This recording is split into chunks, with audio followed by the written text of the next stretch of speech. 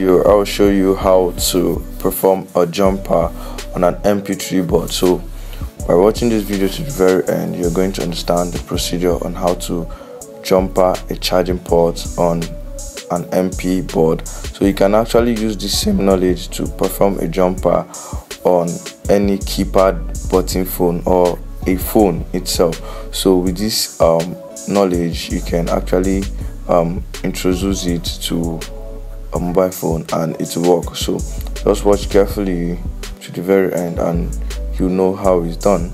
So the first thing we want to do is to know the positive and negative terminal of this charging port. And I'm going to show you how to dictate the positive and negative terminal of the charging port. This logic board here this mp board you see that um one of the terminal has pulled okay? One of the terminal of the board has pulled and is as a result of maybe the charging ports um forcefully went out from maybe from the mostly is from the customers when they forcefully push um, the charging port and it to pull out the um, the copper wiring the tiny copper wiring connected to the PCB board. So I'm going to show you how to know where to jumper it when the other leg is missing how to know the positive and negative terminal with um, just simple step by using a multimeter to do that. So i'm going to be using the multimeter to do that. So we're going to be using the multimeter but we need to check if the continuity mode is set. So first of all you need to set the multimeter to the continuity mode that is the diode mode. So once we have successfully done that you get the positive and the negative probe that is the probe and you bridge them together to check if the multimeter will beep and show the red light. So once you have done that you get the board. So the essence of getting the board is to check properly where the negative terminal of the charging port is connected. So we are going to be using the multimeter to confirm it. Now if you have not known how to use the multimeter on the diode mode you can ch check my previous video. And also you can join my mentorship class to get a direct contact with me where i can explain deeply how it works. So now we are going to be bridging this particular leg of this charging port that is remaining to um, the ground of the negative terminal of the battery. That is GND the GND of the is always called the negative terminal of the battery. We call it ground. So it's all it's connected to this. I've already tested it before. But and also that um, negative terminal is connected to um, this um what do you call it? This um memory card um silver plate. So it's connected there. So anywhere um that silver cap of this memory card body um is bridging with any of these two terminal of this charging ports you will assume it to be the negative terminal. Because on mp3 the two major terminals are just the positive and negative. Unlike phones where we have the positive the negative the data positive and the data negative. But for mp the two major ones are just the positive and the negative. So as you can see on the board on the multimeter is beeping is showing red light and is connected. That is to say this terminal right here is connected to the ground. That terminal is connected to the ground is because that memory card plate is connected to the negative terminal of the battery and the negative terminal of the battery is same as the negative terminal of the charging port. So our mission is accomplished. We have known where the negative terminal of the charging port is. Now the other terminal is the positive terminal. That is the one that pulled from the port once i get my result i need to pull out the remaining three terminals that in the middle of the charging port okay? Those terminals are not necessary when performing a jumper on an mp board and an mp3 board okay they are not necessary. So once we have successfully removed it we are going to use the razor blade also to scrape out the this positive and the negative terminal of the charging port. Because why i'm scraping it out is for an easy contact of the lead that is the um the soldering lead that I'll be using for this operation. That is the essence of me scratching it so that the lead will properly stick to those two terminals okay? That is the purpose of me. So next i get my jumper wire. This is my jumper wire okay? Now already i've already gotten my liquid lead. So my liquid lead already is um is placed. So i'm going to show you how to do it. Um let me zoom a little bit okay? Now the essence of me using a liquid lead for this operation because it serves me well okay? It sticks very well to this um, jumper wire. So after we have successfully done the jump the lead sticking to our jumper wire the next thing is to know where the terminals of the charging port is connected to the PCB and the one we are soldering. Remember is the positive terminal that pulled from the board.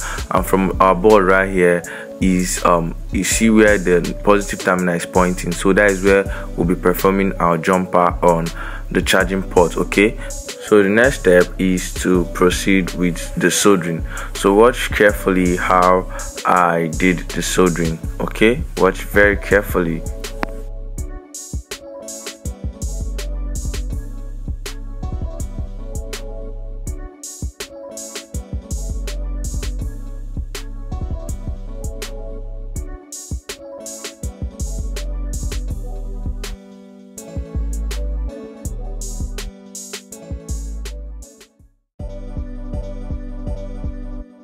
so now once we have successfully done the soldering to the charging port.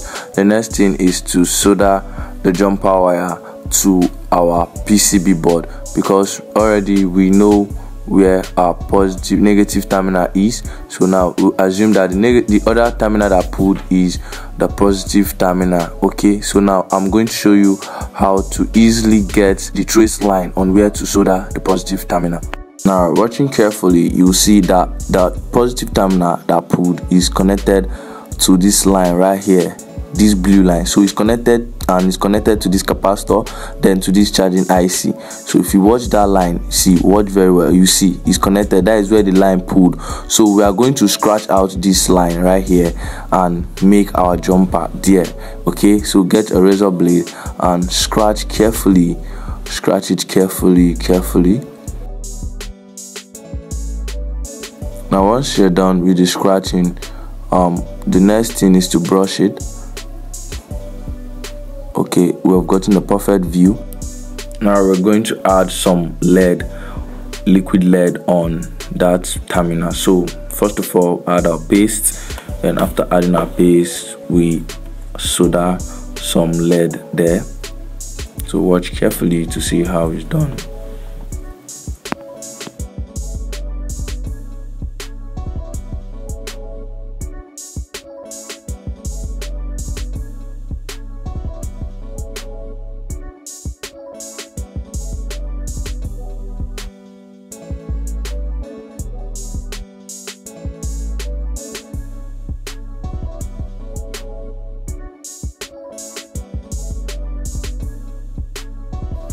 after we have done that. The next thing is to solder the charging port to the PCB board that is the logic board. So watch carefully to see my way of fixing charging port okay? Once first of all you align the two legs the two base leg to the two base leg on the PCB board okay? Now after you have aligned it make sure it's well aligned then you solder it. Make sure it's well aligned then you solder it after soldering the first leg you solder the second one the second base.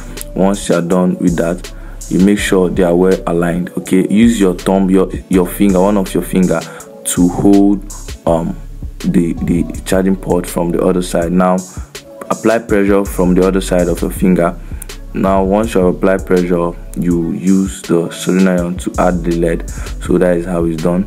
So apply pressure. Now apply pressure and use the soldering iron to hold it firmly to hold the lead okay now once you have done that see it will be very very strong. Once you have done that okay you can add some more lead now to make it more more stronger.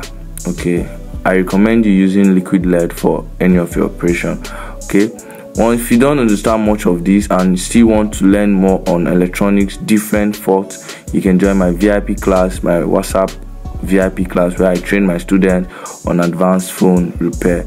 We just post some little techniques on YouTube. Okay, the rest of them are done on WhatsApp. Those main major courses are done on WhatsApp. Okay, because they are not um, they are very very strong, expensive knowledge. You can come and acquire them by sending me a message on the number showing on your screen. So now once you have done that, you will have to connect that negative terminal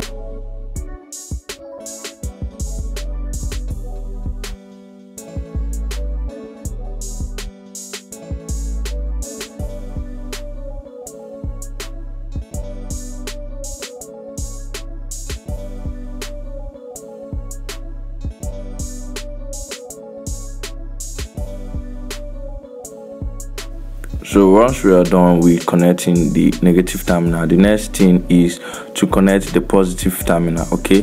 That is the jumper wire that we jump pad okay? That is the terminal that pulled from the board. So this is how you just connect it. Just so that it directly to that line that place will scratch okay? That is how it's done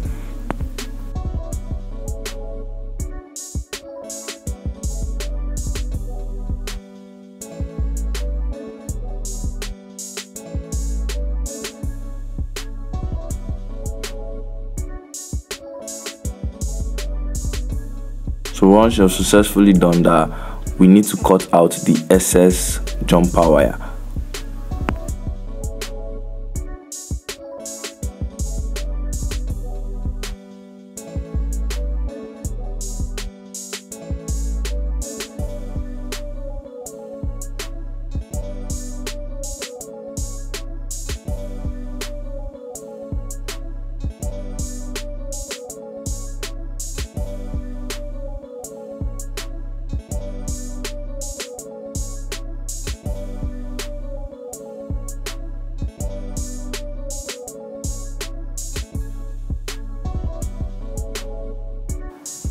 after we're done the moment of truth is now. Let's test it to see if it's working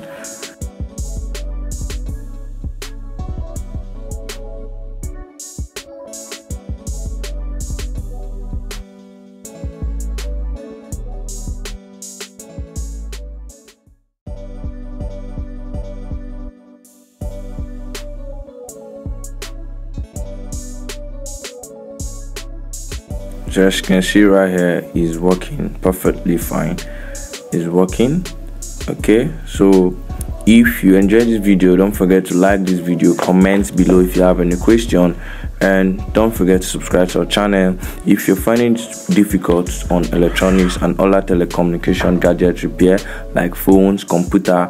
Don't forget to hit me up on my whatsapp number showing on your screen and i'll get back to you immediately. I'll reply to all your questions okay? So next we'll be using our multimeter to check the voltage that is going to the battery terminal okay? So now set your multimeter to be at the dc volts level. Okay if you want to learn more on a multimeter you can hit me up on my whatsapp number showing on your screen and i'll explain very well on how it works. So next we'll be checking the voltage. So let's locate the battery terminal and check. Okay let's check the voltage that is going to the battery terminal using our multimeter. Okay